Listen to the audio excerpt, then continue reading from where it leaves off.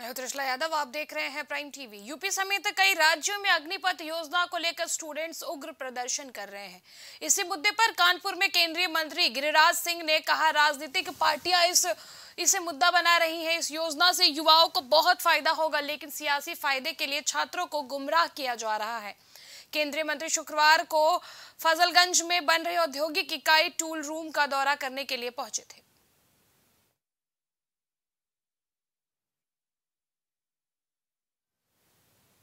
कानपुर में केंद्र सरकार की अग्निपथ योजना के खिलाफ हो रहे प्रदेश भर में प्रदर्शन के मद्देनजर सेंट्रल रेलवे स्टेशन की सुरक्षा व्यवस्था बढ़ा दी गई है। साथ ही जो आरपी और आरपीएफ की टीम लगातार प्लेटफॉर्म का निरीक्षण कर रही है।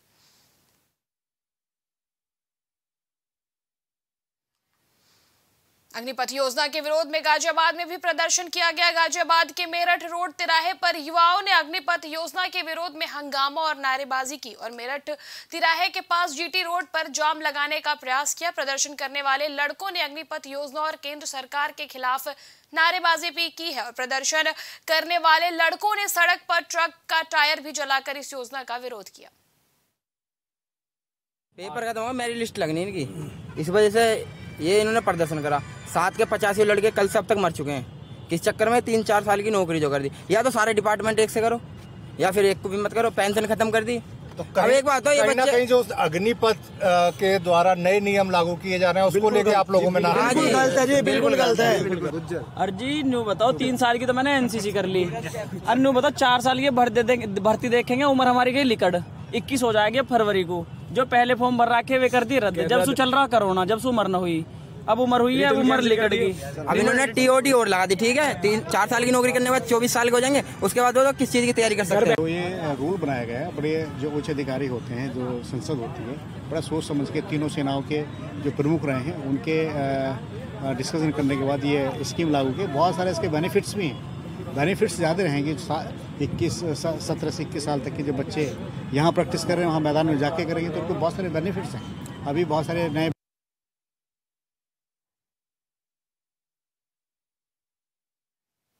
अग्निपथ योजना के विरोध में हज़ारों की संख्या में छात्रों ने गोरखपुर के पीपीगंज रेलवे स्टेशन और चौराहे पर उपद्रव और तोड़फोड़ की। आपको बता दें कि इस योजना के तहत महज चार वर्ष का ही कार्यकाल निर्धारित किया गया है, जिसमें 25 प्रतिशत लोगों को अस्थायी रूप से सेना की सेवा करने का मौका मिलेगा। सिर्फ़ चार साल बाद पचहत्तर प्रतिशत लोगों को सेना से हटा दिया जाएगा।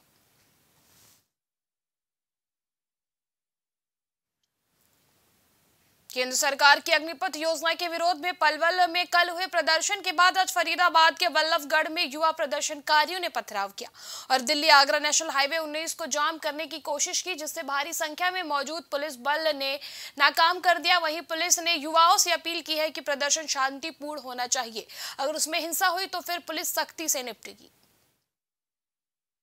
देखिए, जैसा कि आपको पता है, पूरे फरीदाबाद में 144 सीआरपीसी की धारा लगी हुई है तो इसमें कुछ लोगों ने हाईवे को जाम करने की कोशिश करी थी यहाँ पे। तो पुलिस ने उनमें से करीब पैंसठ लोगों को राउंड अप करा हुआ है अभी।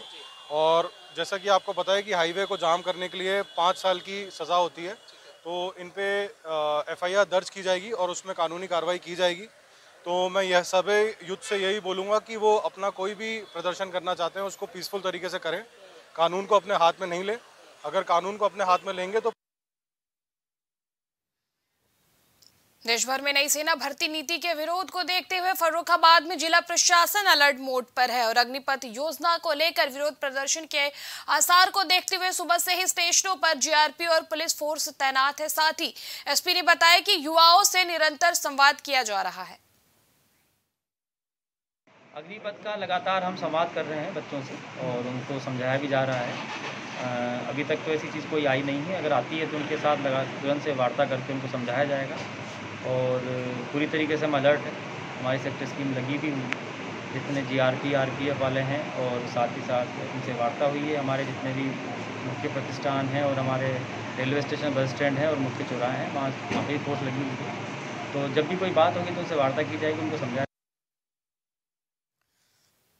मुरादाबाद जामा मस्जिद में मुस्लिम समुदाय के लोगों ने शांतिपूर्ण तरीके से नमाज़ अदा की। इस मौके पर एसपी सिटी अखिलेश भदौरिया और एडीएम सिटी आलोक वर्मा ने मुस्लिम समुदाय का शुक्रिया अदा किया। वहीं भारी पुलिस बल की निगरानी में नमाज़ अदा की गई और मुरादाबाद शहर इमाम ने नमाज़ के बाद देश की तरक्की के लिए दुआएँ कराई। देखिए जुमा तो हर जुमे को आता है, कोई ऐसी ख़ास बात नहीं थी। और जुमे का जो संदेश है, जो पैगाम है, वो अमन, प्यार, भाईचारे का पैगाम है और वो हर जुमे से दिया जाता है। शांति है, अल्हम्दुलिल्लाह, सब जगह सब जगह बहुत अच्छा माहौल है। और माहौल जो भी ख़राब करेगा, उसके लिए कानून है। देखिए, जैसा आप लोग देख रहे थे कि पूरी एहतियात हम लोग की तरफ़ से रखी गई थी। साथ ही लोगों से जो संवाद किया गया था पिछले सप्ताह में, सभी लोगों ने बढ़ चढ़ के पुलिस और प्रशासन का सहयोग किया है और उसी का परिणाम है कि बहुत ही अच्छे और खुशनुमा, शांतिपूर्ण माहौल में नमाज़ संपन्न हुई है। लोगों ने नमाज़ अदा की, अपने घरों को लोग रवाना हो चुके हैं। हमारे क्षेत्र के, हमारे शहर के जो गणमान्य लोग हैं, वो स्वयं मौजूद थे आज यहाँ और उसी का ये मिला जुला परिणाम था कि एक बहुत अच्छे माहौल में आज नमाज़ संपन्न हुई। एक्चुअली पिछला जो हम लोग का जुम्मा था, वो काफ़ी सेंसिटिव तरीके से गुजरा, बड़ा ही हाउच पॉच सा रहा। लेकिन इस बार हम लोगों ने संवाद कायम किया। लोगों से मिले, जो भी मुजीज गणमान्य लोग थे उनसे मिले। मिल करके हम लोगों ने हम लोग उनके साथ रहे। लोगों से अपील कर अपील करवाई, मदरसों से, मस्जिदों से अपील करवाई। उसका नतीजा ये निकला कि बिल्कुल शांतपूर्ण माहौल में भाईचारे के साथ ये जुमे की नमाज़। प्रयागराज में जुमे की नमाज़ के बाद पत्थरबाजी की घटना के मास्टरमाइंड मोहम्मद जावेद उर्फ़ पम के अवैध निर्माण पर बुलडोजर चला दिया गया। इस दौरान पुलिस को दो अवैध असलाह, कई कारतूस बरामद हुए। हैं वहीं सत्तर नामजद और पाँच हज़ार अज्ञात लोगों पर मुकदमा दर्ज किया गया है और चिन्हित किए गए उपद्रवियों के अवैध निर्माण पर पीडीए का बुलडोजर चलेगा। प्रयागराज ज़िले में शहर और देहात सभी इलाकों में सभी मस्जिदों में जुमा की नमाज़ अमन व अमान के साथ शांतपूर्ण तरीके से अता की गई है। लेकिन उसके बाद भी जगह जगह पे हमारी फोर्स अलर्ट है। मेरे और हमारे डीएम साहब के द्वारा साथ चलते हुए और सभी मजिस्ट्रेट्स और गजटेड पुलिस ऑफिसर्स के द्वारा साथ चलते हुए लाउड हेलर का प्रयोग करते हुए सारी ड्यूटियों को अलर्ट किया जा रहा है कि अकस्मात की स्थिति से भी निपटा जा सके। सारी फोर्स भी अलर्ट है। यहाँ की सारी मस्जिदों में जुमे की नमाज़ सकुशल अदा हो चुकी है और स्थिति सामान्य है, मार्केट ओपन है, ट्रैफ़िक सामान्य है और आसपास की यहाँ जितनी भी दुकानात हैं, वो भी ओपन हो चुकी है। बाकी एहतियात के तौर पे हमारी जो फोर्स है लगातार मूवमेंट में और हर सेक्टर में हम लोगों ने पर्याप्त फोर्स लगा रखी वहाँ मजिस्ट्रेट और पुलिस ऑफिसर सब राहुल गांधी से पूछताछ के नाम पर उत्पीड़न और दिल्ली पुलिस की बर्बरता के खिलाफ कांग्रेसियों ने अलीगढ़ में जमकर विरोध प्रदर्शन किया। कांग्रेस जिला महानगर अध्यक्ष और हरियाणा प्रभारी विवेक बंसल के नेतृत्व में मैरिज रोड से जुलूस निकाला केंद्र सरकार और दिल्ली पुलिस के खिलाफ नारेबाजी की। सेंटर पॉइंट के कलेक्ट्रेट जाने पर पुलिस ने रोक दिया। सेंटर पॉइंट पर रोके जाने पर कांग्रेसी धरने पर बैठ गए पुलिस ने। कांग्रेसियों की तीखी नोकझोंक हुई। कांग्रेस जिलाध्यक्ष संतोष सिंह ने कहा कि दिल्ली में शांतिपूर्ण प्रदर्शन कर रहे कांग्रेसियों पर दिल्ली पुलिस ने बर्बरता के साथ लाठीचार्ज की। आज जिस तरीके से सरकार मूक दर्शक बनी रह गई है और चीन हमारे क्षेत्र पर काबिज है। आज इन सबको लेकर राहुल जी तमाम निरंतर अपने विचार प्रकट कर रहे हैं और मुखर रूप से सरकार की आलोचना कर रहे हैं। तो उनकी आवाज़ दबाने का एक प्रयास ईडी जो है, चाहे वो सीबीआई हो, चाहे ईडी हो, चाहे पुलिस तंत्र हो, वो इस सरकार का एक एक हथियार बन गया है और उसके माध्यम से जन विरोध जनता की और विपक्ष की आवाज़ को दबाना चाहते हैं। ये राष्ट्रपति राष्ट्रपति महोदय को संबोधित ज्ञापन जो है, प्रवर्तन निदेशालय ईडी द्वारा जो कांग्रेस के पूर्व अध्यक्ष राहुल गांधी से पूछताछ की जा रही है। उसमें उसके संबंध में विरोध प्रदर्शन किया गया तथा शांतिपूर्वक अपना ज्ञापन सौंपा गया है। ज्ञापन आवश्यक कार्रवाई के लिए माननीय राष्ट्रपति महोदय को आगरा में सुभाष पार्क से जिला मुख्यालय तक कांग्रेसियों ने पैदल मार्च निकाला और राहुल गांधी की ईडी से पूछताछ पर कहा कि राहुल गांधी को सिर्फ़ परेशान किया जा रहा है और राहुल गांधी निर्दोष हैं। इस दौरान कांग्रेसियों ने राष्ट्रपति के नाम डीएम को ज्ञापन भी सौंपा है।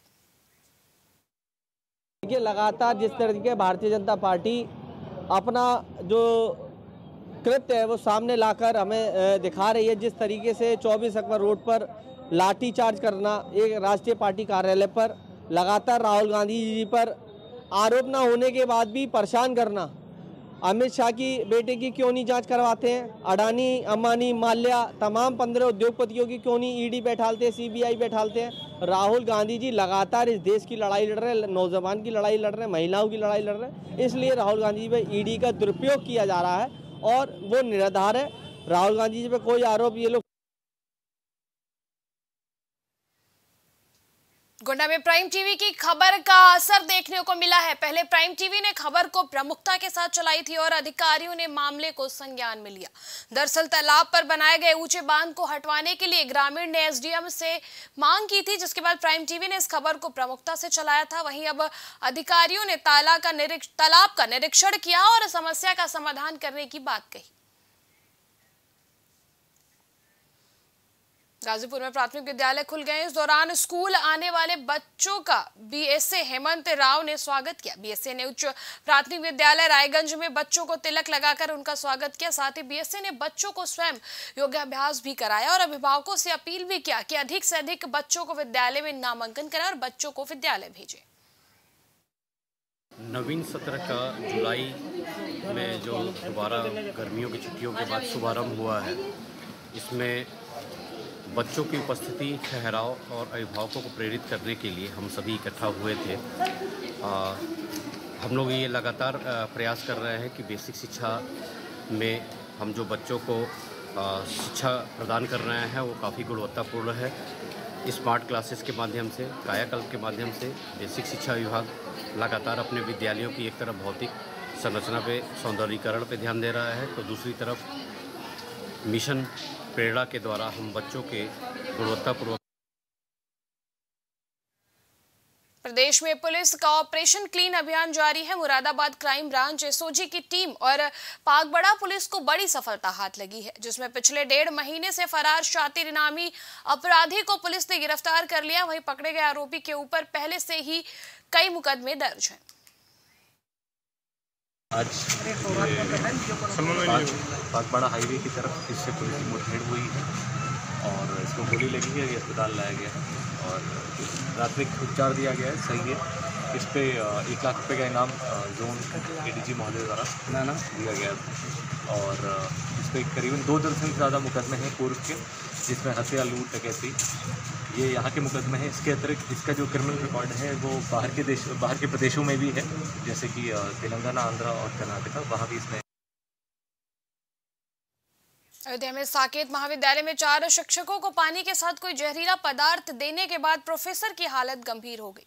जबकि तीन प्रोफेसर के मुँह में छाले और पेट में जलन की शिकायत है, बता दें कि स्कूल में एग्ज़ाम के दरमियान शिक्षकों ने महाविद्यालय में नियुक्त चौपरासी चंद्र प्रकाश से पानी मांगा था और पानी पीने के बाद शिक्षकों को मुँह में जलन होने लगी। मामले में शिक्षकों ने इसकी शिकायत महाविद्यालय प्रशासन से की। संदिग्ध परिस्थितियों में पानी में मिले केमिकल को लेकर संबंधित चौपरासी से पूछताछ की जा रही है। क्या था ये तो जाँच का विषय है। अध्यापकों ने कहा कि हमको कुछ लग रहा है इसमें। मुँह पे हमारे पूरा वो लग रहा है कुल बाहर जैसे होता है, कोई बुलबुला बुलबुला। ये लोग तुरंत गए, थूके अपना उसको। पानी मांगा, पानी पिलाया चपासी ने। चपासी वही पिलाता है, उस दिन नहीं कोई था, दूसरा चपासी था, वो जाके पानी लोग पिलाया बस इतनी घटना घटी। जो पानी बचा था उसने डाल दिया बाज बेसिन में। बाज बेसिन में डाला तो मैंने कई लोगों से भी दिखाया कि डालता है केमिकल उसमें होता है तो बाज बेसिन का जो अब कट जाता है मैल कट जाती। है बस इतना है, और उसके खिलाफ मैंने दे अब तक की खास खबरों में इतना ही, देखते रहिए प्राइम टीवी।